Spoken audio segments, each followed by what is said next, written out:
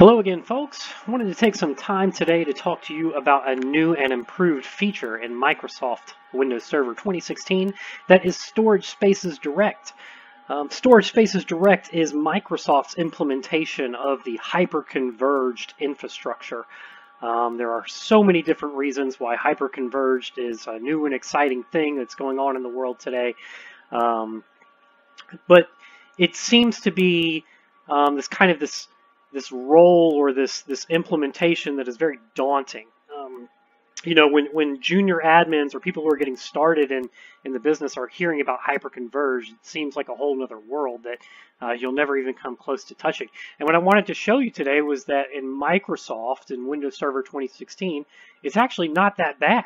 It's not that bad to implement. It's not that bad to understand. Um, but before we can even get started in that, we need to talk about what hyper-converged infrastructure even is. What does it do? What does it mean? Why do we have it? So to get started with that, we have to actually take a look at the traditional model of implementing an infrastructure.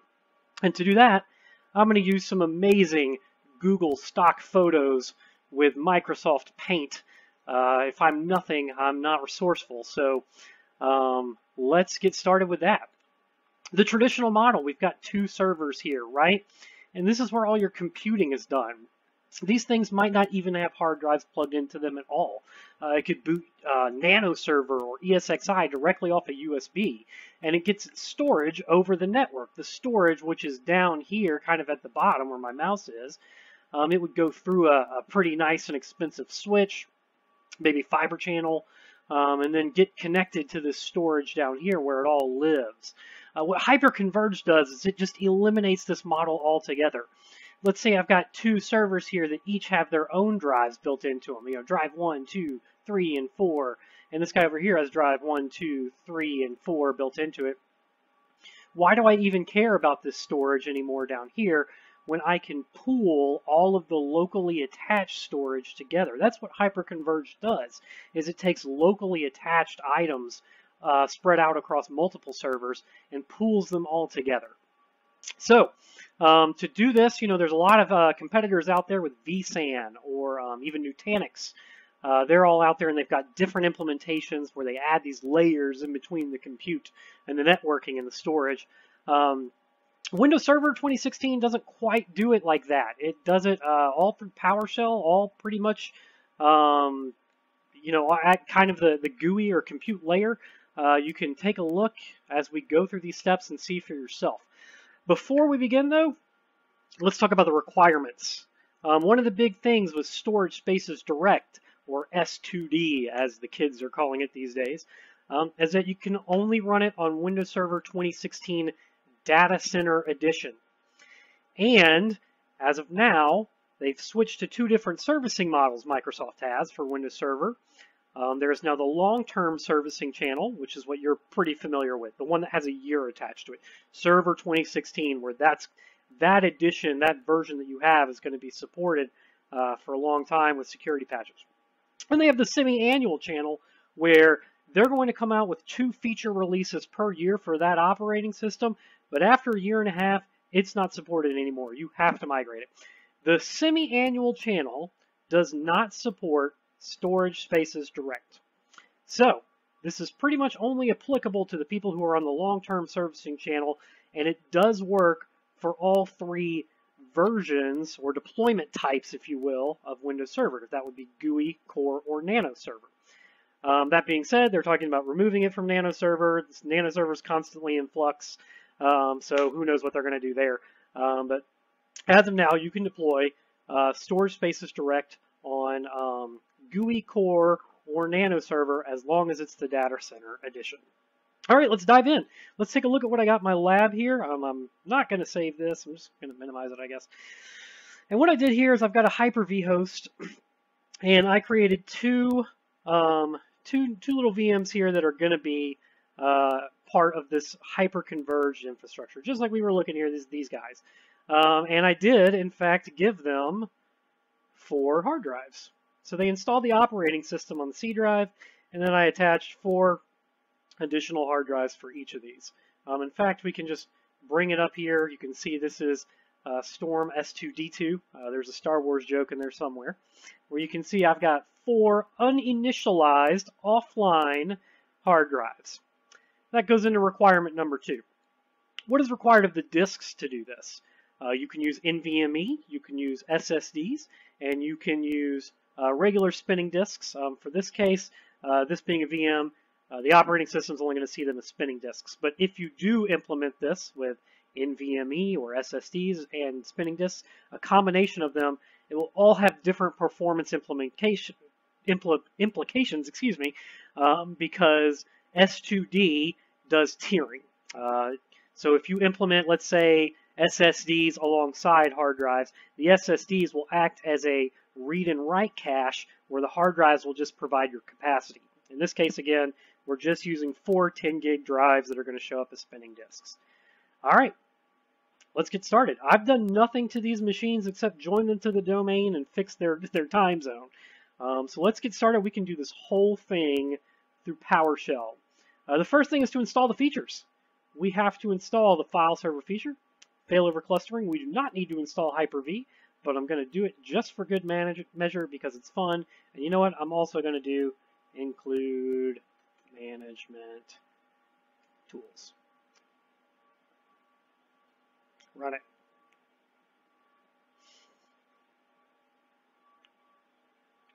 Then we'll take a little pause here and come back to it. Okay, that did get done. Um, installing those features. And uh, one thing I will say is it did require a reboot, as you can see with the orange font right there. So I just went ahead and did the invoke command, restart the computer on those two machines. Um, just as a reminder again, uh, if you are cluing in for the second part of this, we've got four disks that we're going to be adding to these hyperconverged, this hyperconverged infrastructure on each of the nodes. Um, so there's going to be eight disks in total. Uh, each of them has 10 gigs. Um, they're going to be showing up as spinning disks. Um, and all I've done to these machines now is join them to the domain, fix their time, and install the necessary features. So, moving on to the next part. What we have to do to do this is first create a cluster but make sure we specify the no storage. There's no centralized storage yet because we're going to be pooling and using the locally attached storage. I mean, this is hyperconverged, right? That's that's the entire point. Um, we're going to be doing it that way. Uh, and then the very next command, because there's only two nodes here, we've only got S2D1 and S2D2, uh, we have to special, specify a, a quorum witness. Um, 2016 does uh, quorum witnessing a little bit differently now, um, outside of the fact that you can now use uh, an Azure storage blob for it. Um, they also improved on how the witness actually works with what's called dynamic witnessing. Basically, what that means is no matter how many nodes you have, it's going to allow you to fail all the way down to the last node. So for instance, right now we've got two nodes.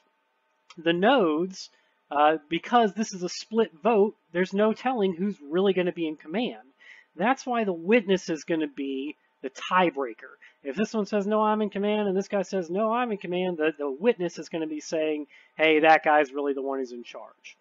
So pretend for a moment we had four nodes. Uh, you'd be split two for two. We would add a file share witness or uh, an iSCSI uh, quorum witness or a cloud witness, and that would be the tiebreaker for those two. But then what happens when one fails? Well, when one fails, we've now got three nodes and a witness. Well, that splits the vote again, two for two. In 2016, the dynamic witness withdraws from that, from the, from the tie-breaking role whenever there's a node failure, and that creates an even number of, of votes. Um, then after that failure, it adds itself back. That's how it can go all the way down to the last one. That's just an aside. That's a tidbit. That's not super critical to know for Storage Spaces Direct. All right, let's go ahead and create this failover cluster. We're going to do the new cluster. Here's the name of my cluster, Storm S2D. The nodes are Storm S2D1, Storm S2D2. We're going to give the cluster a static IP address, and we're not going to have any storage involved with this just yet. Go.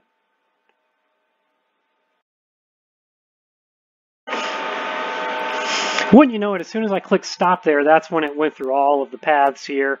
Um,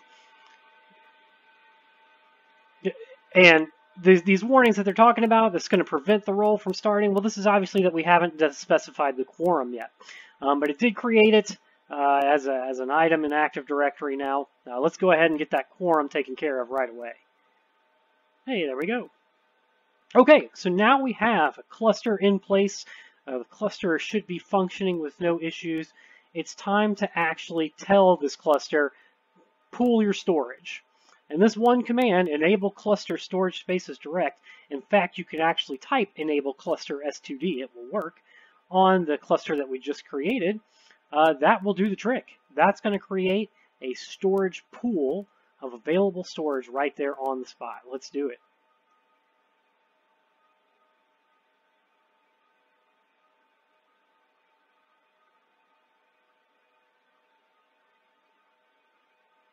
Yes to all.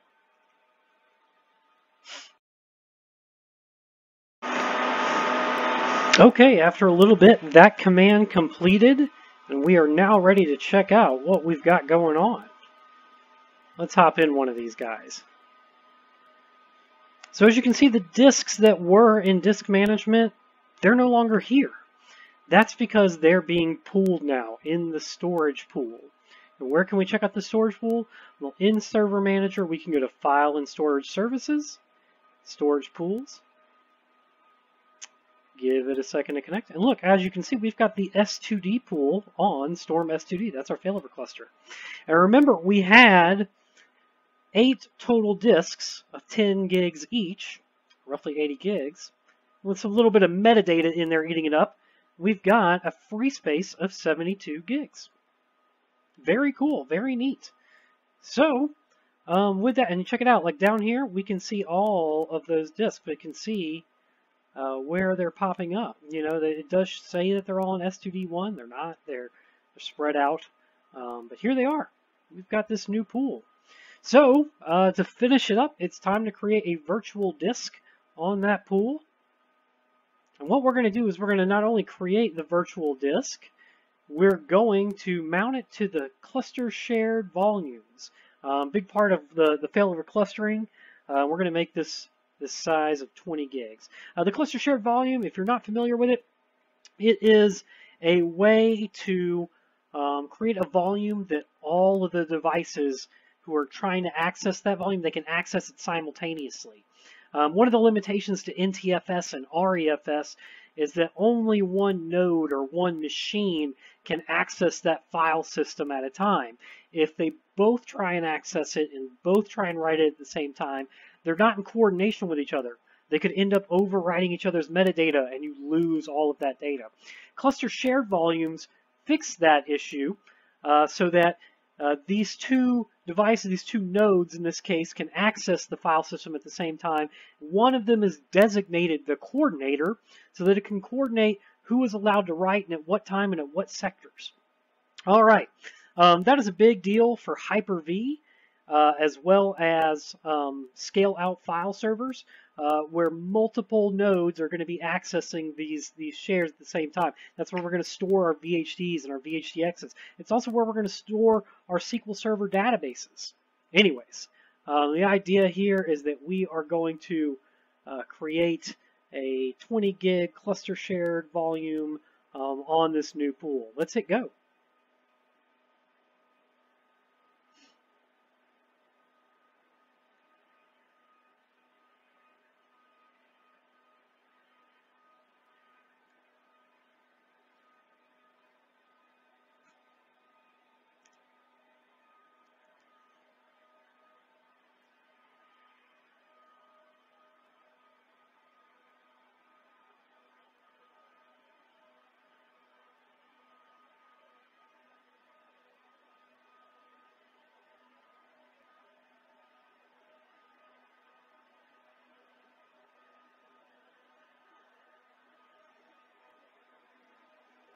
And it's done. Checks out okay. Let's give this a little refresh.